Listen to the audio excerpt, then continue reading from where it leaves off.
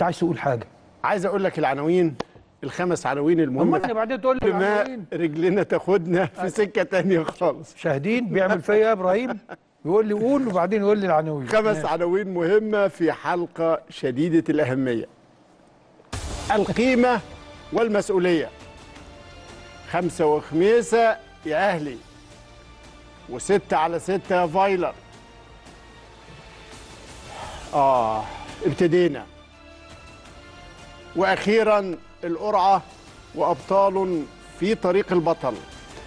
خمس الله ينالوا إعجاب حضراتكم